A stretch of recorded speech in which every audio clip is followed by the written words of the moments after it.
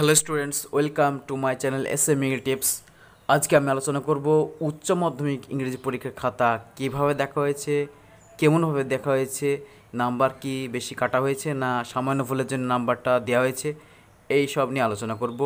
অনেকে তোমরা ইংরেজি পরীক্ষা নিয়ে অনেক টেনশনে আছো যে ইংরেজি পরীক্ষা নাম পাবো না কি না, সেই নিয়ে আলোচনা করব আজকে। অবশ্যই ভিডিওটা দেখবে সবাই, আর অবশ্যই ভিডিওটা লাইক করবে আর শেয়ার করবে। আর এখন পর্যন্ত চ্যানেলে যদি সাবস্ক্রাইব না করা থাকে, অবশ্যই সাবস্ক্রাইব করে পাশে থাকবে। তো আজকে আমি আলোচনা করব ইংরেজি পরীক্ষা কেমনভাবে খাতা দেখাচ্ছে সেই বিষয়ে। তো অনেকে তোমরা কমেন্ট বক্সে কমেন্ট করেছিলে যে এই বিষয়ে বলার জন্যে। তো আজকে আমি বলব যে ইংরেজি পরীক্ষা কীভাবে খাতা দেখা হয়েছে। টিচার সার্কেলের কাছ থেকে রিপোর্ট পাওয়া গেছে যে ইংরেজি পরীক্ষার মোটামুটি যে পার্ট বি নিয়ে আলোচনা করব পার্ট বি এর ক্ষেত্রে এমসিকিউ এসেছিল এমসিকিউ এসে এমসিকিউ ক্ষেত্রে মোটামুটি অনেক স্টুডেন্ট ঠিকঠাক করেছে। যে ওখানে বারো ছিল, বারোর মধ্যে ওখানে সাত বা ছয়, সাত এরকম পেয়েছে। আর যে এসে টাইপ কোয়েশ্চেন ছিল, বাকি আটটা, যে আটটার মধ্যে আবার চারটে চারটে ভাগ ছিল, ওখানে আবার অনেক স্টুডেন্ট কী করেছে, পাঁচ, ছটা করেছে, বেশি করেছে, অনেকে চারটি করেছে।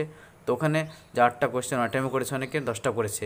তো আমি বলব, যেখানে ওই যে আটটা কোয়েশ্চেনের মধ্যে ওখানে মোটামুটি নাম্বার যারা একটু ভুল লিখেছে, তাদের ক্ষেত্রেও লিখতে পারলে নাম্বার দেওয়া হয়েছে। এরকম যে রিপোর্ট পাওয়া গিয়েছে, যে ভুল লিখেছে, কিন্তু কাছাকাছি অ্যান্সারটা হয়েছে, তাদের নাম্বারটা দেওয়া হয়েছে।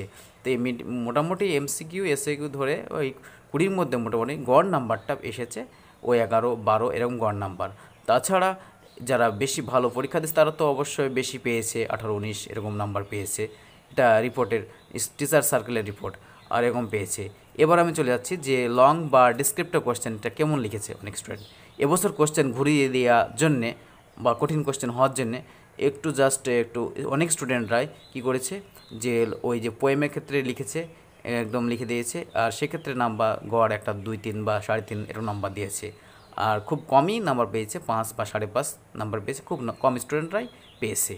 আর বট কোশ্চেন ঘুরিয়ে দেওয়ার জন্য যে যে লং কোশ্চেন বা বট কোশ্চেনের ক্ষেত্রে যে প্রোজ থেকে দিয়েছে। সে প্রোজে কিন্তু কাটা কাটা যে নাম্বারগুলো ছিল, সে যারা অ্যাটেম্প করেছে, তারা কিন্তু বেশি নম্বর পেয়েছে, সাড়ে চার, পাঁচ এরকম নাম্বার পেয়েছে। আর গড় মোটামুটি সাড়ে তিন, চার পেয়েছে অনেকে টিচার্স রিপোর্টে জানা গেছে।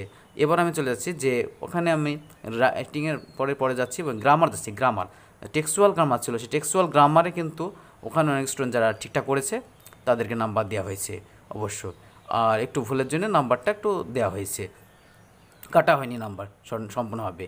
এবার আমি চলে যাচ্ছি যে আমরা দেখব রিপোর্ট বা রাইটিং স্কিল সেই রিপোর্টের ক্ষেত্রে অনেক কিন্তু স্টুডেন্ট অনেক লিখে লিখতে পেরেছে। লিখতে পেরেছে, তাদেরকে অবশ্যই নাম্বারটা দেওয়া হয়েছে।